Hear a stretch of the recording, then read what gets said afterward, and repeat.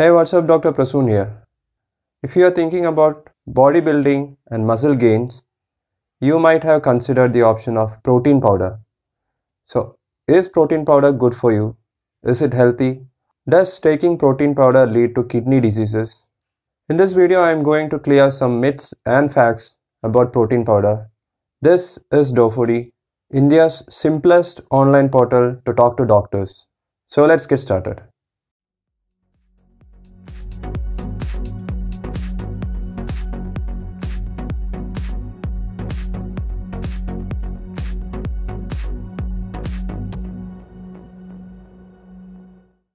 If you haven't subscribed to our channel yet, please do it right now.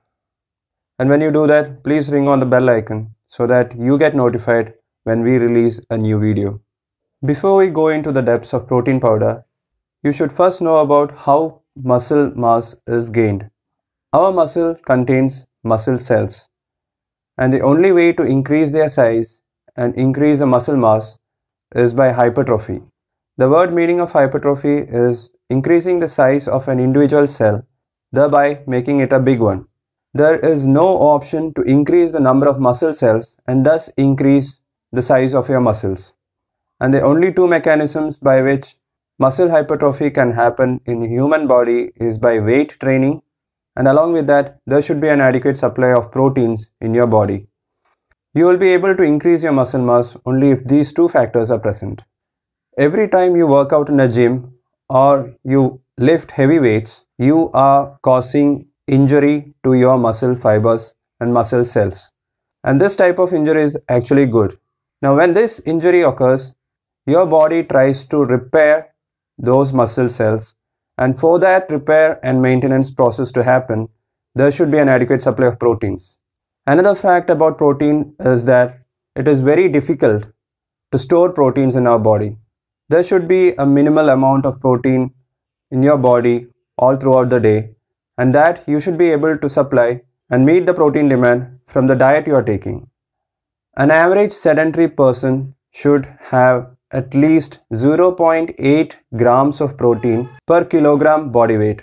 That means if your body weight is 60 kilograms, you should be getting at least 56 grams of protein every single day.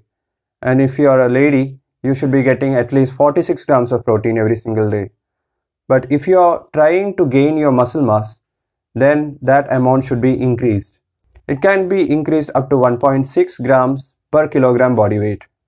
So now let's come to the next question. What is a protein powder? Protein powder is a concentration of protein which is manufactured from milk.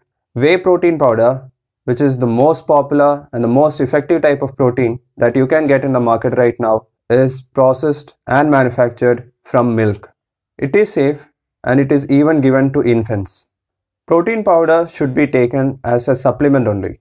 One scoop of whey protein powder, that is 30 grams, will give you 25 grams of protein, which actually is very convenient.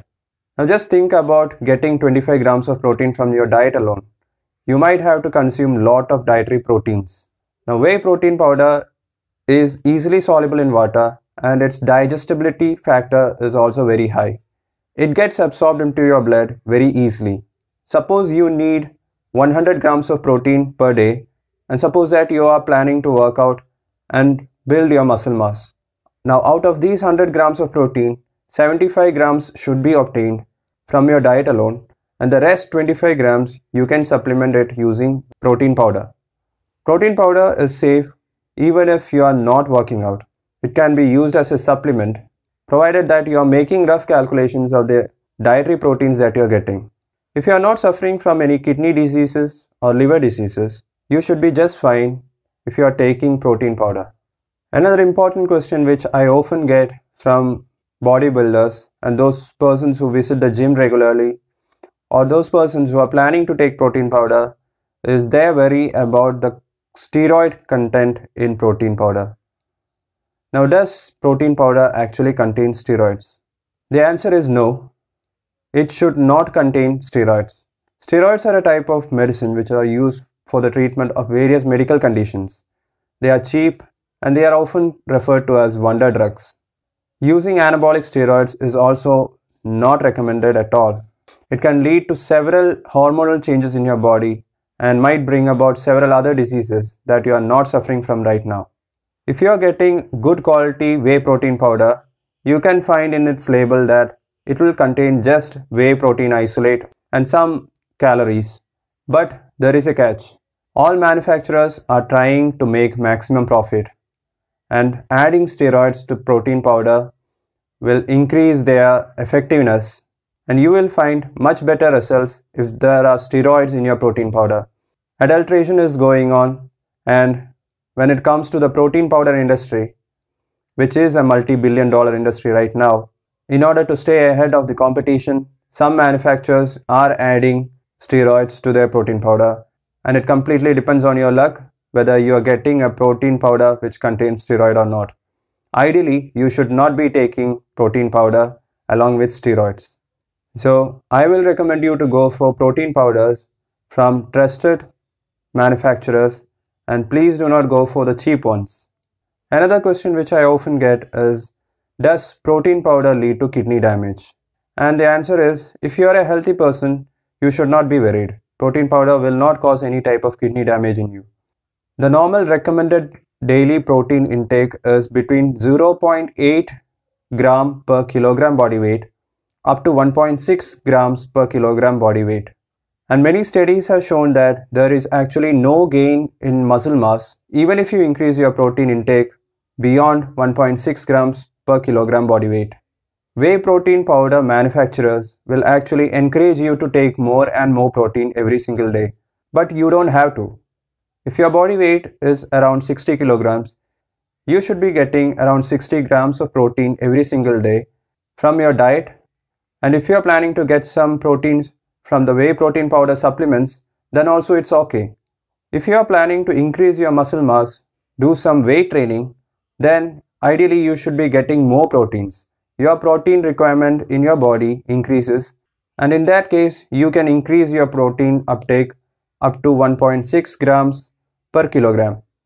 That means you can increase your protein intake to around 96 to 100 grams every single day. And of these 100 grams, 75% should be obtained from your diet alone and the rest you can supplement using protein powders. If you are taking more protein, which is more than what is required by your body, your body will find it very hard to break it down. The rate of protein metabolism in your body will increase and nitrogen is a waste product which we get after protein metabolism. When protein intake increases, more blood has to flow through your kidneys, more blood needs to be filtered in your kidneys, and it will definitely put your kidney to work a little bit more harder. But if you are a healthy person and if you are not suffering from any kidney diseases, taking protein in the recommended daily range will not be a problem for you. You should also be drinking plenty of water close to 2 to 3 liters every single day. So, if you don't want to take protein powder, what are the natural sources of protein? You will be able to get 20 to 30 grams of protein from every 100 grams of meat or fish. One whole egg gives you 7 grams of protein. Milk and other dairy products are also rich contents of protein. Whey protein powder is actually made from milk. Dairy products such as curd, yogurt, and cheese are also rich in protein. If you are a vegetarian, consider taking more lentils, beans, legumes, and preferably sprouted legumes, sprouted beans, sprouted mung beans. Take plenty of peanuts. 100 grams of peanuts gives you close to 38 grams of protein. Other nuts such as cashew nut, almonds are also rich in protein. Do not depend on soya chunks and soya beans as your primary source of protein every day Taking soya beans or soya chunks is not recommended because of the slightly increased estrogen content in it. It will eventually lead to decreasing the testosterone level in your body. And other diseases might develop if you are primarily depending only on soya protein. Taking rice, rotis and chapatis alone is also not recommended. 100 grams of rice will give you only 2.7 grams of protein, whereas one whole chapati will give you only 3 grams of protein. So always make any type of food that you're eating rich in protein. And if you're planning to increase your muscle mass, build up some muscles, then you should be roughly calculating the amount of proteins that you need every single day.